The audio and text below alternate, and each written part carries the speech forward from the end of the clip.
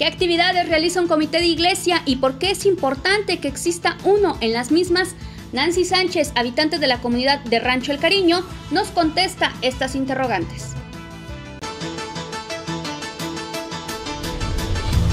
Anteriormente éramos cinco personas las que estábamos formando el comité y pues ahorita el día de hoy se han unido dos familias con nosotros, la familia Fuentes Cruz y la familia Merino López y pues les invitamos al público en general, pues realmente los que gusten eh, a unirse con nosotros al comité, no necesariamente que vivan aquí en la unidad del Rancho del Cariño, personas de fuera que quieran trabajar en conjunto para seguir en la construcción de la iglesia, pues están totalmente invitados. Pues el comité se encarga de ver a las personas que apoyen en donativos, como lo había comentado don Felipe, eh, este, recaudar cosas para poder hacer rifas, tocar puertas, para que esto pueda seguir este, desarrollándose lo de la iglesia. Pues realmente que sean empáticos con la causa, porque hay veces que las personas desconfían por ciertas cosas que hayan pasado anteriormente, pero como lo comentó don Felipe, siempre las cosas, este comité lo ha hecho lo más transparente para que se pueda seguir. Eh,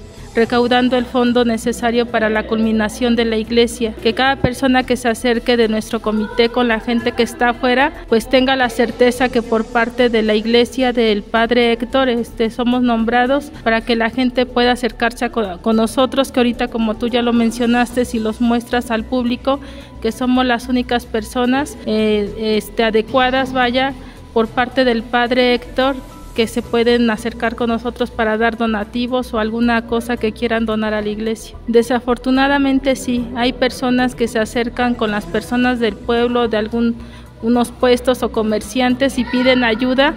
para la iglesia y, realmente yo como tesorera eh, yo no recibo ninguna ayuda extra de alguna otra persona que no sean del comité hasta el día de hoy no he recibido de nadie más. Pues les damos las gracias de antemano que nos den este ese espacio para que nos puedan escuchar y que los invitamos para que se sigan uniendo para seguir apoyando esta causa.